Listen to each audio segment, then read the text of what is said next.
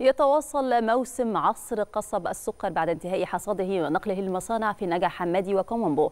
وتواصل الدولة جهودها لزراعة محاصيل جديدة ذات إنتاجية عالية.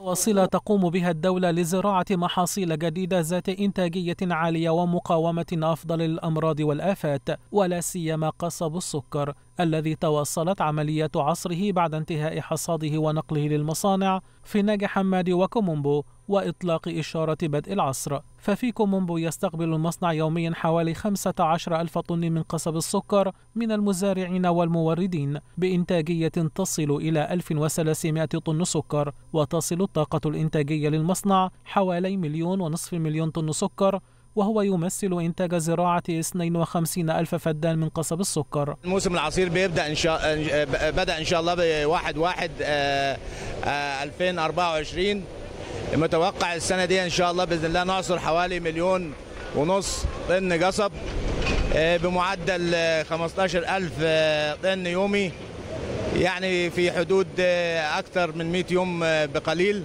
102 يوم تقريبا. وفي هذا الإطار أعرب المزارعون عن شكرهم للرئيس عبد الفتاح السيسي لرفعه سعر طن القصب تسليم المصنع إلى 1500 جنيه بزيادة قدرها 400 جنيه عن العام الماضي. ويحصل المزارعون على الشيك الخاص بالتوريد فور الانتهاء من الميزان.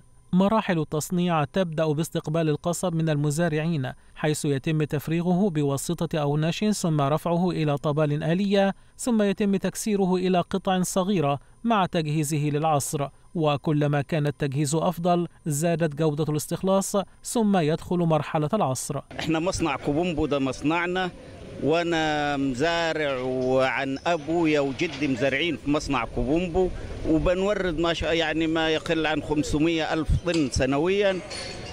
ولا وفي مشاركة بيننا وبين بين إدارة مصانع السكر. بنزرع قصب من من أيام جدي الله يرحمه بنورد لشركة السكر على طول. ونشكر السيد الرئيس عبد الفتاح السيسي لمجهوده العظيم في دعم الصناعة ومزيد من التقدم والرقي إن شاء الله. الحمد لله يعني في زراعة القصب أبنا عن جد. أه الحمد لله تمام. أه السعر مناسب معادل الحمد لله مجازي مع الفلاح. وفي زيادة إنتاجية واخد بالك؟ يعني للفدان كويسة. من 60 ل من 60 62 طن 63 طن. بورد قصب كل سنة وبشكر السيد الرئيس عبد الفتاح السيسي على مجهوداته اللي هو قايم بيها. وإن شاء الله كده ربنا يعدل حال البلد. مصنع كومومبو ذو التاريخ العريق هو صرح صناعي من أكبر المصانع التاريخية على مستوى الشرق الأوسط فقد تم إنشاؤه في عام 1912 ويعصر ما يقرب من مليوني طن من القصب المورد من حوالي 18 ألف مزارع لينتج 25% من الإنتاج المحلي للسكر بإجمالي 200 ألف طن.